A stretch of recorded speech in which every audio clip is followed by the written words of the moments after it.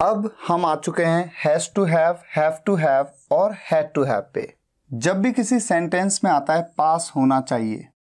जैसे मेरे पास पेन होना चाहिए, उसके पास लैपटॉप होना चाहिए, आपके पास किताबें होनी चाहिए, आपके पास अच्छी कम्युनिकेशन स्किल्स होनी चाहिए इंग्लिश में कॉल सेंटर्स में अप्लाई करने के लिए। तो किसी न किसी के पास कुछ होना चाहिए। इस तरह के सेंटेंसेस को हम ऑलरेडी कवर कर चुके हैं। और हमने देखा था शुड हैव के साथ हम इन्हें बनाते हैं। ठीक उसी तरह से, जैसे इन सेंटेंसेस को आप शुड हैव के साथ बनाते हैं पास होना चाहिए के लिए, उसी तरह से आप हैज़ टू हैव या हैव टू हैव के साथ बना सकते हैं। फ़र्क सिर्फ़ इतना है कि जब आप शुड हैव के साथ बनाते हैं तो आप ये नहीं देखते कि सब्जेक्ट क्या है। चाहे वो थर्ड पर्सन सिंगुलर हो, चाहे कोई प्लूरल सब्जेक्ट हो, कुछ भी हो, आप शुड हैव का यूज़ कर लेते हैं। जैसे मान लीजिए आपको कहना है कि उसके पास पेन होना चाहिए तो आप कह देते हैं he should have a pen या, मेरे पास पेन होना चाहिए तो कह सकते हैं I should have a pen इन दोनों सेंटेंसेस में आपने देखा यहाँ पर ये सब्जेक्ट है थर्ड पर्सन सिंगुलर जबकि ये सब्जेक्ट है फ़र्स्ट पर्सन सिंगुलर तो थर्ड पर्सन सिंगुलर के अलावा जो भी सब्जेक्ट हो, चाहे आई हो या फिर आपके पास पेन होना चाहिए you should have a pen subject कोई भी हो हम शुड हैव का यूज़ कर लेते हैं पास होना चाहिए के लिए। ये बात ऑलरेडी हम शुड के कॉन्सेप्ट में समझ चुके हैं। लेकिन यहाँ पर थोड़ा सा अलग हो जाता है। जब सब्जेक्ट हो थर्ड पर्सन सिंगुलर ऐसे में यूज़ करेंगे हैज़ टू हैव हैज़ का यूज़ तो करते ही थर्ड पर्सन सिंगुलर के साथ में, ठीक है? और उसके अलावा कोई भी सब्जेक्ट हो, चाहे आई यू वी दे कोई भी प्लूरल नाउन हो, ऐसे में आपको यूज़ करना होता है have to have same sense के लिए। यानी कि सेंटेंस को आप शुड हैव के साथ भी बना सकते हैं और हैज़ टू हैव या हैव टू हैव के साथ भी बना सकते हैं। तो अगर मुझे कहना है, उसके पास पेन होना चाहिए तो मैं ऐसे भी कह सकता हूँ he should have a pen या फिर मैं कह सकता हूँ he has to have a pen तो यहाँ पर मैं कह सकता हूँ हैज़ टू हैव लेकिन जब मेरा सब्जेक्ट थर्ड पर्सन सिंगुलर के अलावा है, जैसे आई यू वी दे या कोई भी प्लूरल नाउन प्रोनाउन ऐसे में अगर मैं सेंटेंस को शुड हैव के साथ बनाना चाहता हूँ तो बना सकता हूँ, लेकिन अगर इसके साथ, इस फॉर्मेशन के साथ मुझे बनाना है तो मैं यूज़ करूँगा हैव टू हैव तो शुड हैव की जगह पे मैं क्या कहूँगा? Have to have I have to have a pen इसी तरह से यहाँ पर भी आपके पास पेन होना चाहिए you have to have a pen तो ये टॉपिक बहुत ही सिंपल है। इसमें कोई कंफ्यूजन नहीं है। और मैं आपको बता दूँ, जब आप इसके नेगेटिव बनाते हैं, जैसे आपके पास पेन नहीं होना चाहिए, ऐसे में जनरली इस फॉर्मेशन में आप बनाते ही नहीं है। आप कैसे बनाएँगे? He should not have a pen I should not have a pen आपके पास पेन नहीं होना चाहिए।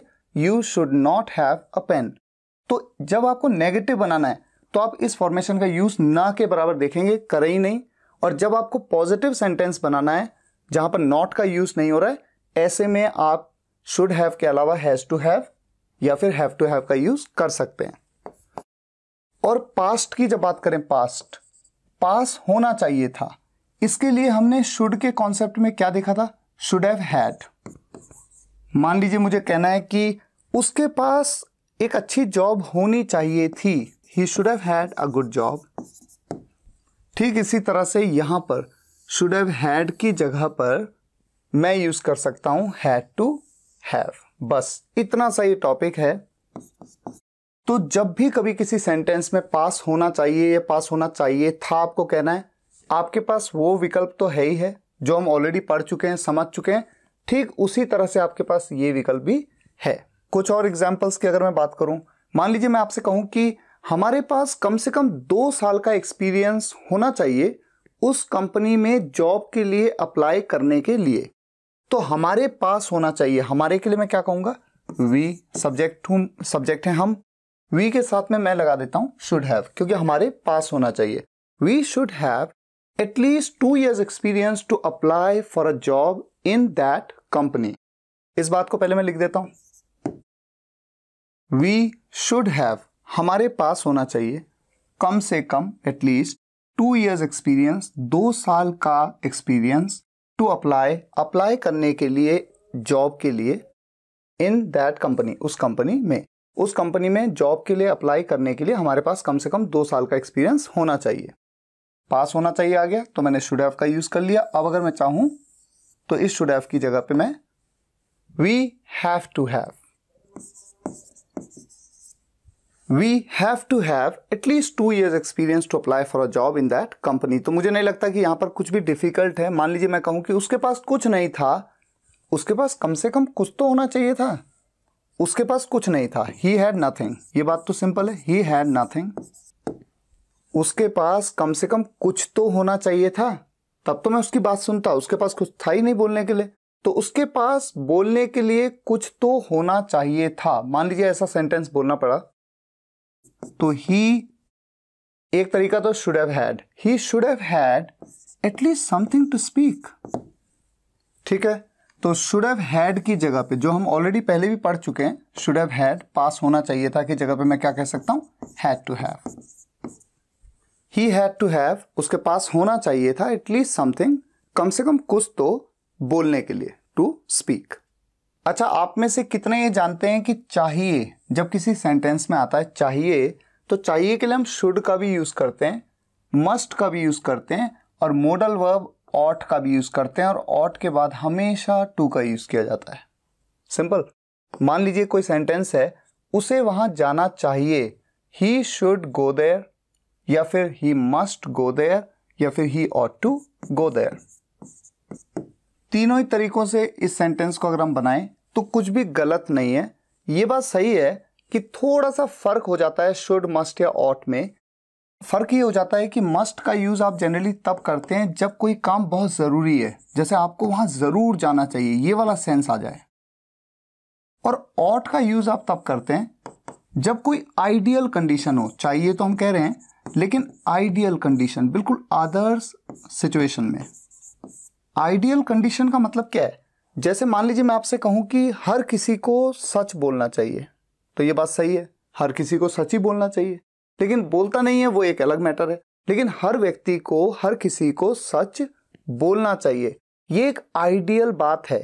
एक आदर्श बात है तो आइडली यहाँ पर ऑट का यूज़ करना ज़्यादा बेहतर है। हालाँकि ऐसा कोई इसका थम रूल नहीं है, क्योंकि बहुत सारी चीज़ें हैं। मान लीजिए मैं कहता हूँ he ought to go there उसे वहाँ जाना चाहिए। मान लीजिए किसी के फादर हॉस्पिटल में एडमिट हैं तो क्या उसका फ़र्ज़ नहीं है कि उसको वहाँ जाना चाहिए? बिल्कुल जाना चाहिए। तो ऐसे में ऑट टू गो कहना गलत तो नहीं है, सही है ये सेंटेंस और अगर मैं कहूँ कि आपको उसे वहाँ ज़रूर जाना चाहिए, मैंने कहा उसे वहाँ जाना चाहिए, उसके पापा हॉस्पिटल में है, उसे वहाँ जाना चाहिए तो अंडरस्टूड है कि भले मैं नहीं कह रहा हूँ कि ज़रूर जाना चाहिए, लेकिन फिर भी मतलब तो यही है कि जाना ही चाहिए। तो ऐसे में मस्ट का यूज़ भी गलत नहीं है। और केवल अगर मैं शुड का यूज़ कर लूँ तो क्या गलत है? He should go there simple तो आइडली चाहिए के लिए आप किसी का भी यूज़ कर सकते हैं, ये बात अलग है कि सबसे ज़्यादा यूज़ होता है शुड और जब थोड़ा सा ज़रूरी हो, ऐसे में मस्ट तो जब हम कहते हैं कि हर किसी को सच बोलना चाहिए तो ऐसे में everyone ought to speak the truth वैसे मैं आपको बता रहा हूँ कि आइडियल कंडीशन में ऑट टू का यूज़ करते हैं, लेकिन ऐसा कुछ नहीं है। जब आप इंग्लिश बोलते हैं कॉन्वर्सेशन में ऑट टू का यूज़ बहुत कम आप देखते हैं, आप शुड का यूज़ कर लें, कोई प्रॉब्लम नहीं है। ठीक है? और अगर आपको थोड़ा ज़रूरी लगता हो तो ठीक है, कर लीजिए मस्ट का use everyone must speak the truth बोलना ही चाहिए सच, ये ज़रूर बोलना चाहिए। तो मॉडल वर्ब्स में आपने has to have have to have इनका यूज़ देखा पास होना चाहिए के लिए बिल्कुल वैसे ही जैसे हम शुड हैव का यूज़ कर लेते हैं। और हैड टू हैव का यूज़ बिल्कुल वैसे जैसे शुड हैव हैड का यूज़ करते हैं, जो कि हमने शुड में सीखा था। और हमने ये भी देखा कि मस्ट का भी यूज़ कर सकते हैं और टू का भी यूज़ कर सकते हैं। थोड़ा ज़्यादा ज़रूरी लगे तो मस्ट का यूज़ कर लीजिए। और अगर आइडियल कंडीशन वाली बात होती है तो और टू का यूज़ कर लीजिए। हालाँकि ऐसा कुछ नहीं है, आप तीनों में से किसी का भी यूज़ कर सकते हैं, कोई प्रॉब्लम नहीं है। सबसे ज़्यादा यूज़ होता है शुड और मस्ट। और टू का यूज़ बहुत ही लिमिटेड होता है, पर आपको पता होना चाहिए।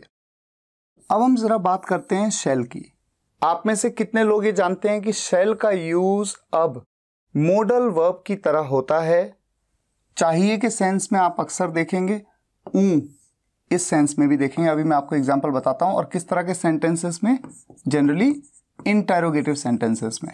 इंटरोगेटिव मतलब प्रश्नवाचक, जहाँ पर कोई प्रश्न पूछा गया हो। जैसे मान लीजिए मुझे कहना है कि क्या मुझे वहाँ जाना चाहिए? इस बात को मैं शुड के साथ कैसे कह सकता हूँ? शुड आई गो दे बिल्कुल उसी तरह से चाहिए के लिए इंटरोगेटिव सेंटेंस है चुकी है। यहाँ पर शुड की जगह पे आप अक्सर शेल का यूज़ भी पाएँगे। शल आई गो दे क्या मुझे वहाँ जाना चाहिए? क्या राहुल को मुझसे बात करनी चाहिए? क्या राहुल को मुझसे बात करनी चाहिए? Should Rahul talk to me यहाँ पर भी शुड की जगह पे आप कह सकते हैं shall Rahul talk to me simple तो शेल का use as a modal verb चाहिए के सेंस में, एक तरीका ये है। और दूसरा, ऊ वाली जो मैं बात कर रहा हूँ, जैसे, क्या मैं जाऊँ? क्या मैं उसके साथ खेलूं? क्या मैं उसके साथ बात करूँ? तो ये ऊ आ रहा है। इसलिए मैं कह रहा हूँ कि ऊ वाले सेंटेंसेस में शेल का यूज़ क्या मैं उससे बात करूँ? इसके लिए shall I talk to him क्या मैं शाम को आपको कॉल करूँ? करूँ? ऊ आ गया ना।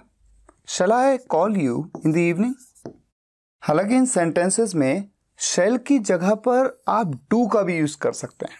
ये भी बड़ा इंटरेस्टिंग है। शेल की जगह पर ऊ वाले सेंटेंसेस में आप डू का भी यूज़ कर सकते हैं। इस बात को भी आपको नोट्स में अपने लिखना है। Do I talk to him या shall I talk to him क्या मैं उससे बात करूँ? यही सेंस निकलेगा। उसी तरह से यहाँ पर shall I call you in the evening क्या मैं आपको शाम को कॉल करूँ? या फिर do I call you in the evening क्या मैं आपको शाम को कॉल करूँ? मैं वहाँ क्यों ना जाऊँ? मैं वहाँ क्यों ना जाऊँ? क्यों के लिए? वाई उसके बाद मॉडल वर्ब आएगी, जो भी ऑक्सिलरी वर्ब होती है, जैसे मैं शेल का यूज़ कर रहा हूँ। वाई शेल आई मैं वहाँ क्यों ना जाऊँ? Why shall I not go there और जैसा मैंने आपको बताया शेल की जगह पे आप क्या कह सकते हैं? Do why do I not go there मैं किस किस से मिलूं? मैं किस किस से मिलूं? कैसे बनाएँगे? सोचिए सेंटेंस को। किस किस से? यानी कौन कौन हो वो जिनसे मैं मिलूं?